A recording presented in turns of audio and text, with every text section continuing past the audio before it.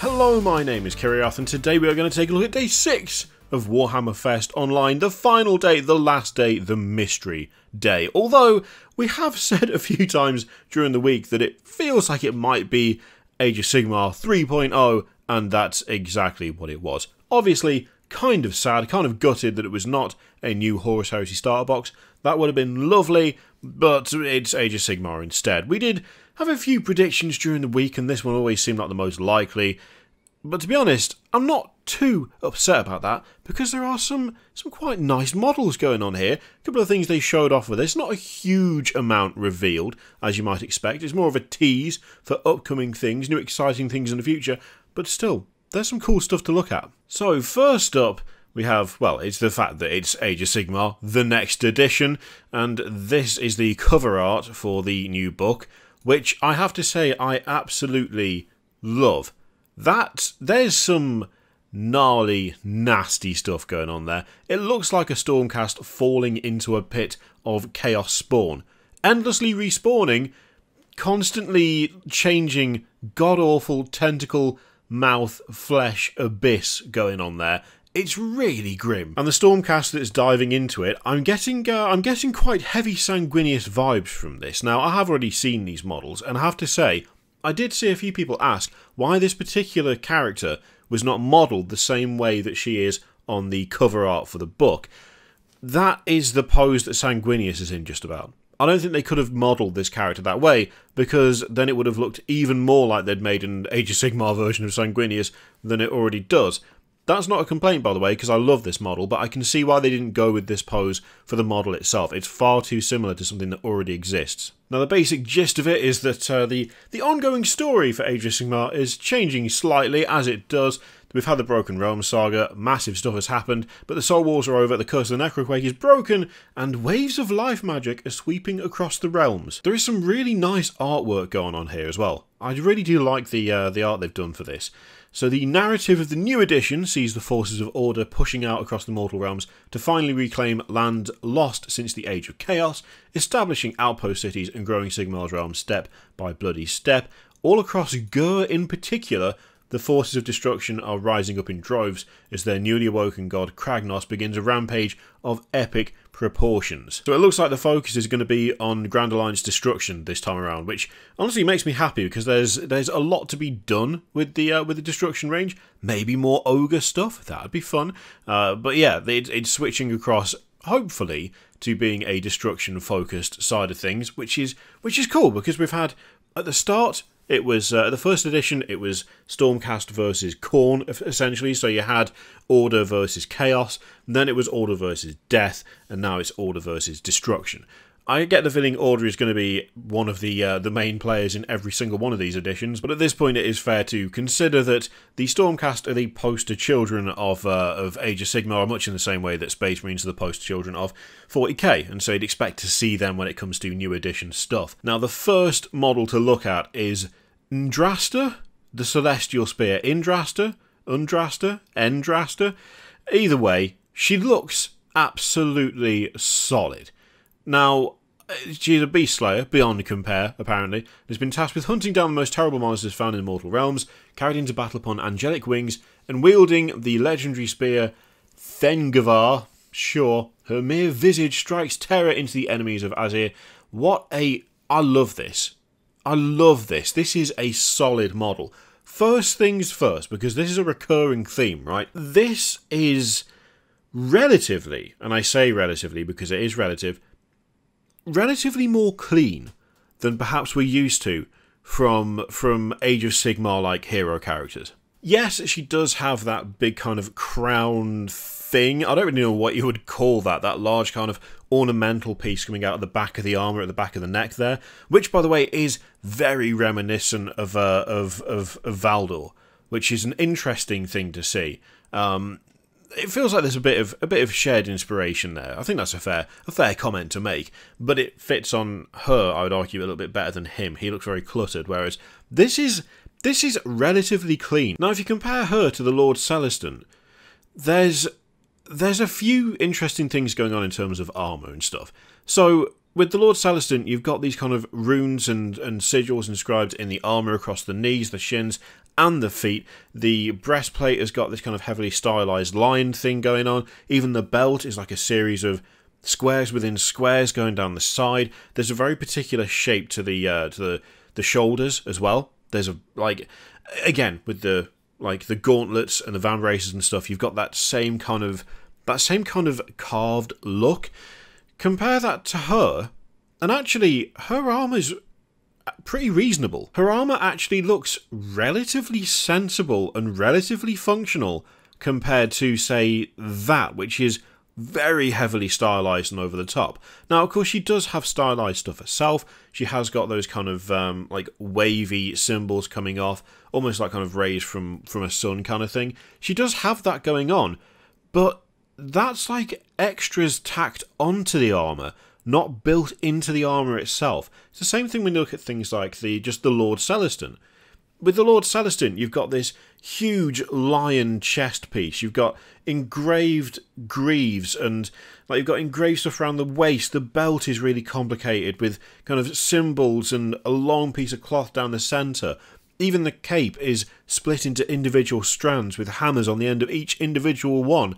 The sword has got carvings all the way down it. One shoulder ends in a massive, like a massive symbol.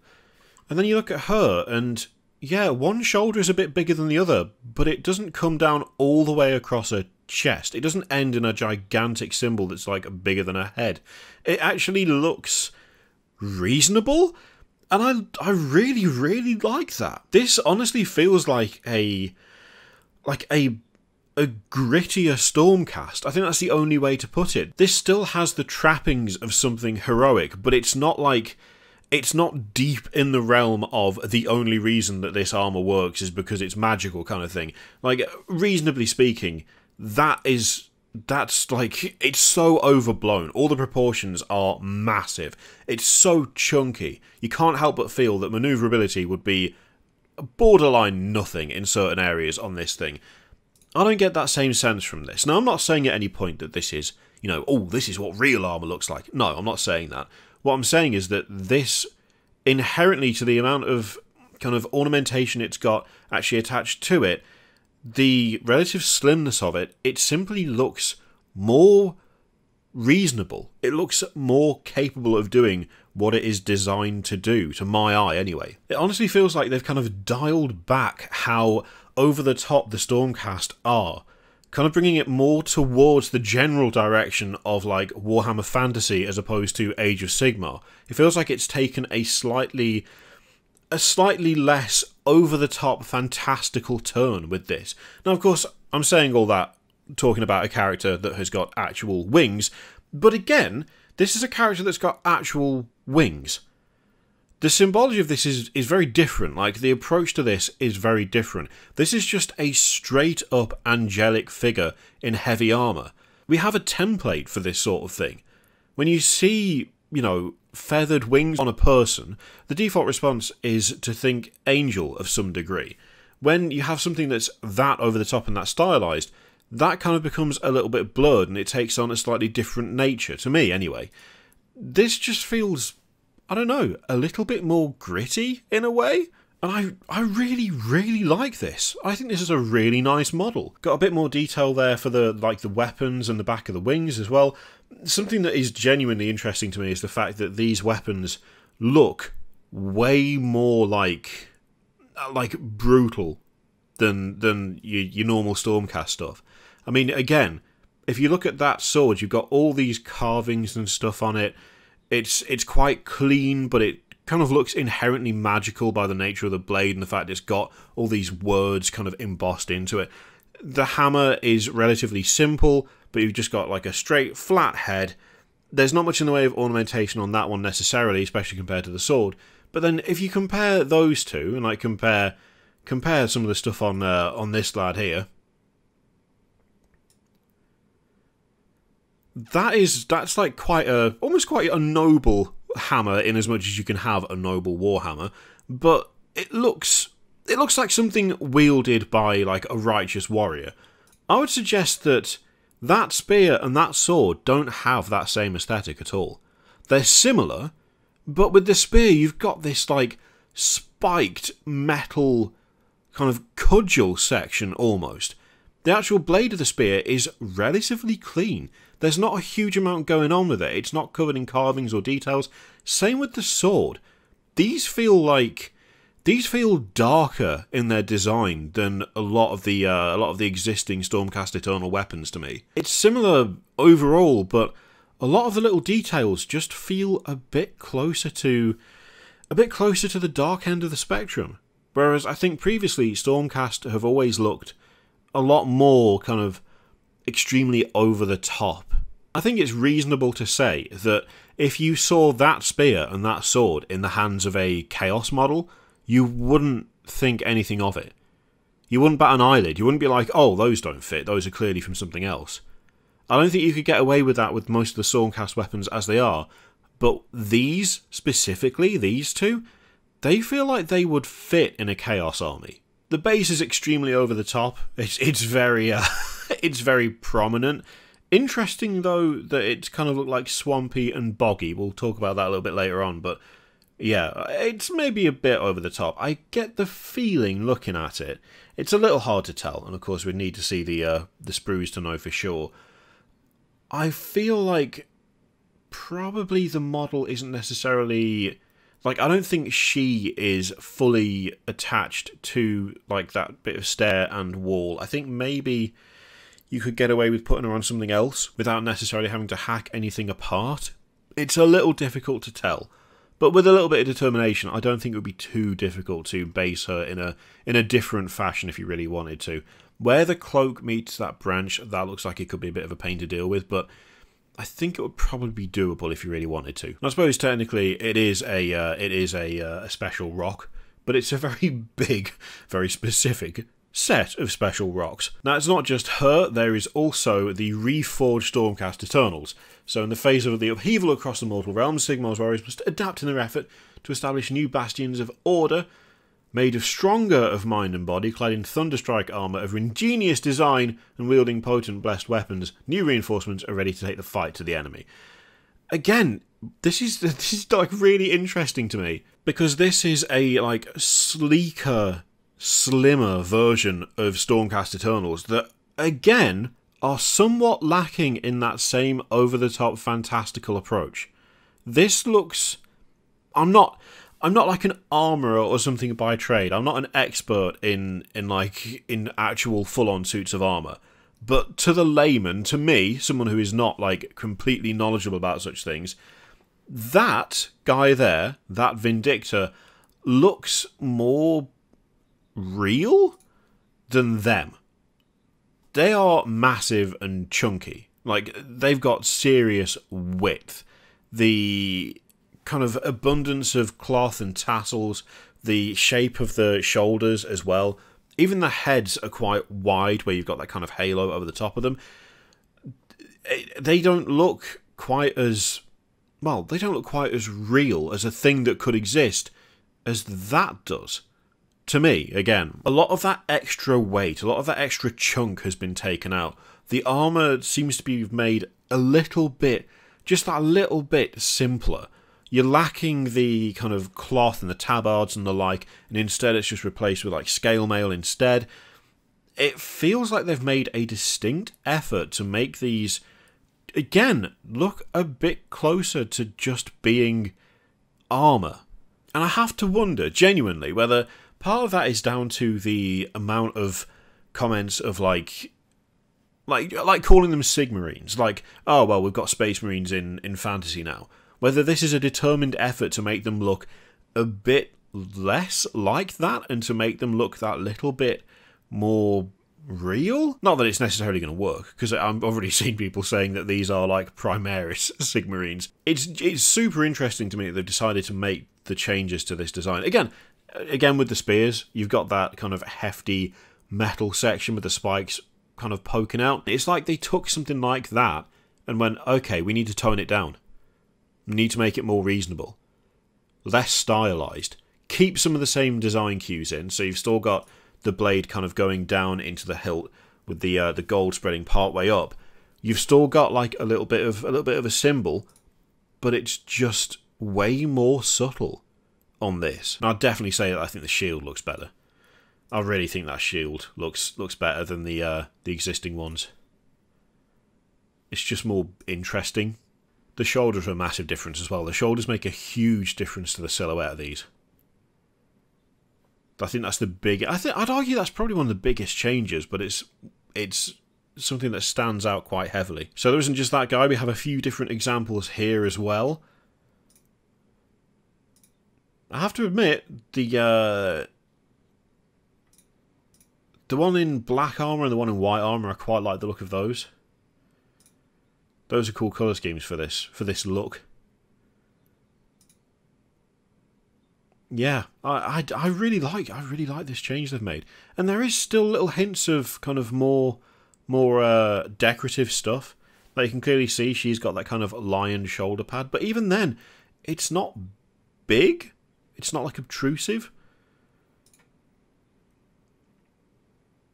Just a super interesting change. I'd love to know why they decided to, like, fairly I'd argue fairly significantly alter the look of the Stormcast, given that like Age of Sigmar is not an old game.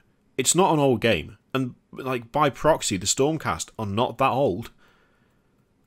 But yeah, there's been there's been a definite a definite shift here. We also have as well Annihilators, which are a new generation of Paladin, built like a granite column. Yeah, I can I can see that. That hammer, by the way, looks nasty as anything. That looks like it would absolutely wipe you out. It's a solid hammer. Got the return of the uh, of the lion chest piece on this guy as well. Again, though, I feel like this guy is that bit simpler than like than like these guys, like the uh, the the paladin retributors. When you look at the amount that's going on on their armor, even on the hammers themselves, there's just there's just a gap there yeah, he does have a fair bit of ornamentation compared to uh, the Vindictor. Like he's got the big lion chest piece. He's got a bit more kind of uh, like a few more symbols on the shoulder pads, and he does still have that kind of circular symbol on either side of the chest. But it's nowhere near as pronounced as these guys. They have like so much more in the way of like carvings and kind of embossed areas. The helms are like super spiky. They've got the packs on the back of the like that you can see sticking out above the head there that add a load of extra detail and this just doesn't have that. Same thing with the cloth down the front. It's just simpler overall, I think. Maybe they just decided that stuff like this is great, but it's not great for beginners, and so let's make it a bit smoother and a bit easier to approach. I don't know, but I just wasn't expecting to see like a partial Stormcast redesign out of this. Now, as they say, what sort of threat would such advanced Stormcast Eternals be preparing to take on? From what I've been reading, right, a lot of people seem to think it's Fimir? Fimir? I don't know how to pronounce it necessarily. Um, there was a model for those that Forge World sold, but it's now disappeared. They were supposed to be a new hero quest, but then they were pulled from that. And uh, apparently they they favour kind of swampy, boggy fens and the like, and I uh, can't help but notice that she is standing on something that uh, appears to be in a swampy kind of fen area. They have all mist around them all the time. Like th- this, uh, like that isn't like any chaos rune or anything. I don't think it looks anything necessarily like the lizard. Well, maybe it does look a bit like the lizard men stuff. I'm not sure, but like the overall style of that base they're said to like live in the ruins of their old civilization. You've got like a ruined section of stair. You've got like horrible swampy, boggy bits, kind of drooping down off decaying wood and the like. And apparently they have the destruction keyword, which I don't know. It, could, it feels like it could be, could could be likely, could be. That is something that I'm going to have to read up on though, because I don't have a huge grasp onto exactly what they are. Only that a lot of people I know are very excited about the prospect of it. So yeah, but yeah, that's what the uh, mystery day was. Uh, not really all that surprising, to be honest. But the question is, what did you think? What do you think of these new Stormcast? Like them? Don't like them? Think the old ones look better? Think the new ones look better? Got any kind of uh, wild guesses as to why they decided to do a bit of a a bit of a redesign? So like relatively early on in the just existence of that entire system. Let me know what you think in the comments down below. In the meantime, feel free to click all the things, Patreon video, subscribe, all that stuff. Click it if you like, don't click it if you don't want to. And as always, there is an affiliate link in the description for Element Games, which you can use to support the channel if you would like. I'll leave it in your capable hands. Thank you very much for watching. I'll see you next time.